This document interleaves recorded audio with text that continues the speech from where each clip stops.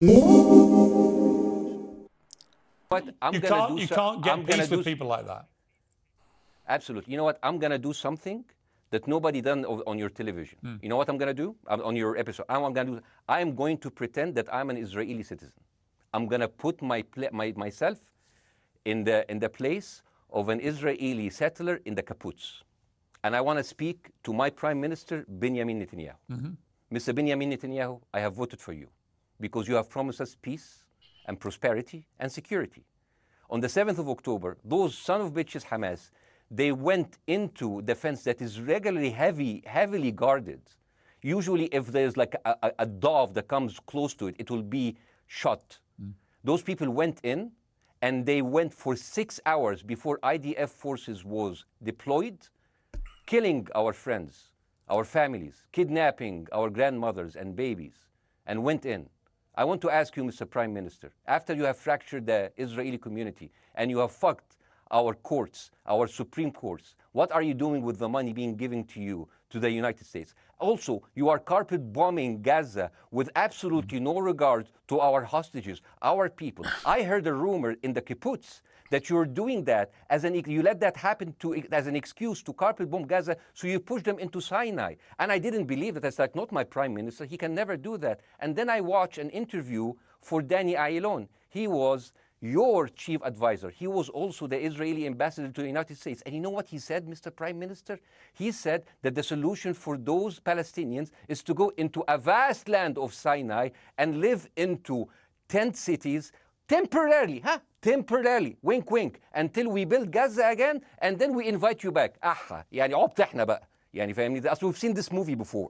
So يعني, and, I, and when I saw this, I couldn't explain to my fellows in the kibbutz how come our Israeli government is trading human lives for another piece of land. So as an Israeli citizen, I need to hold my Israeli government accountable. And as an American citizen, I want to know all of these money that we are giving to Israel. We're giving them $4 billion every year.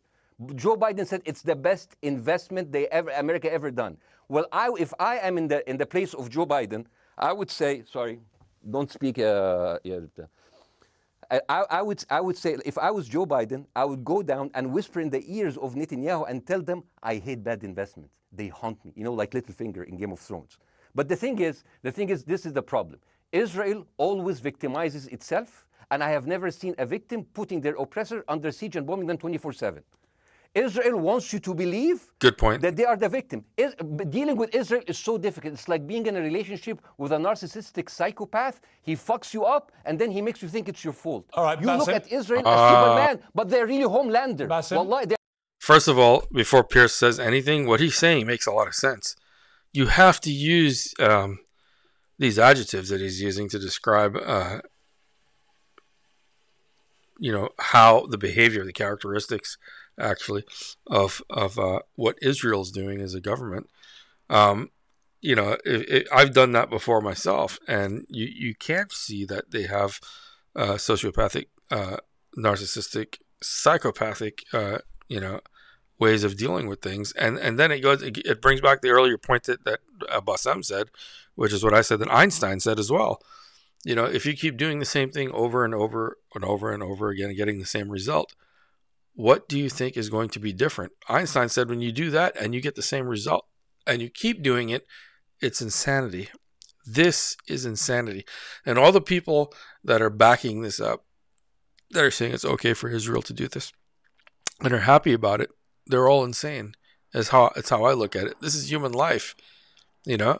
Um, even Mahatma Gandhi, you know, and going back into the ancient uh, books, you know, they talk about, you know, violence begets violence. It's in every single Bible in the world. They all know it. As a matter of fact, both Islam and uh, Judaism uh, and Christianity, especially, and Hinduism, all say that violence begets violence. So, how do you condone the idea? How do you condone it, uh, especially if you're a, a government that's based in Judaism or a government that's based in, in Islamic, uh, you know, philosophy uh, and religion?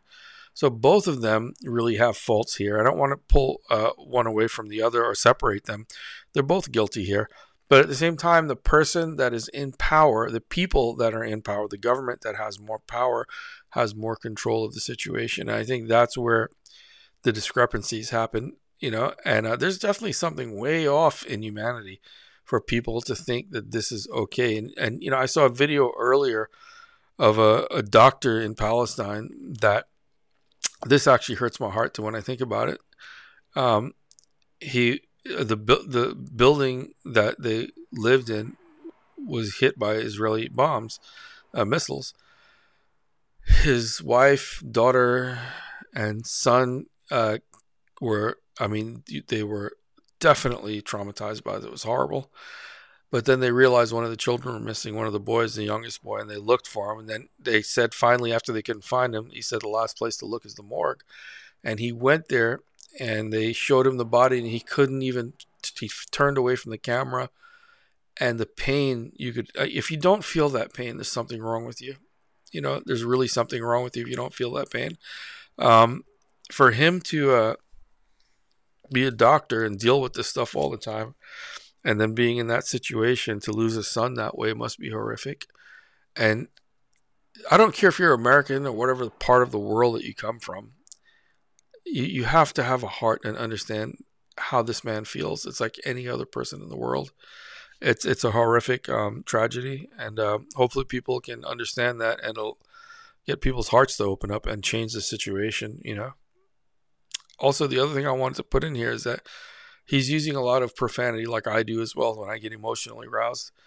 Um, you have to understand that in these situations, it should be allowed. There's nothing wrong with venting verbally and using profanity in situations so intense. Of course, you don't want to do the entire show like that, but sometimes expletives fit better than any other word that you can find, you know, to get the emotion out you know, and I think that's what it is.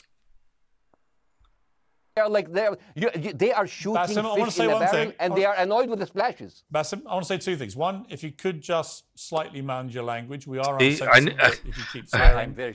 Okay, I knew this asshole was going to do that. I'm sorry, but he is an asshole because that's the only card you can pull at this point.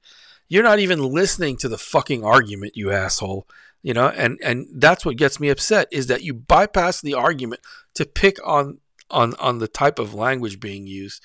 You know uh, emotionally they may not be physically hurt but emotionally they are they are very wounded. What do you expect? What do you expect?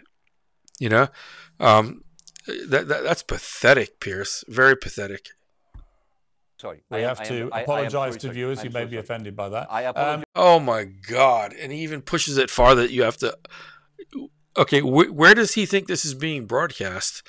You know, uh, we're in America, you know, where people kill fucking children here just because they're different colors. So, well, this is not. I don't know what America you live in, but I'd sure like to visit and see what it's like. It's not the one I I, I was born into. What an asshole. But I understand passions run high, so let's not get too bogged down about the odd swear I, word. I apologize to the um, viewers. I apologize to the viewers for my language. My second question the, is this: the, after the, the sight of, uh, of dead civilians. After the break, we have the. You shouldn't have to apologize, Bassem. He should apologize, if anything, for being an asshole. The managing director of the Daily Wire, which is Ben Shapiro's company. We were going to interview him on his own, but he's happy to come on and talk with you directly if you are prepared to stay.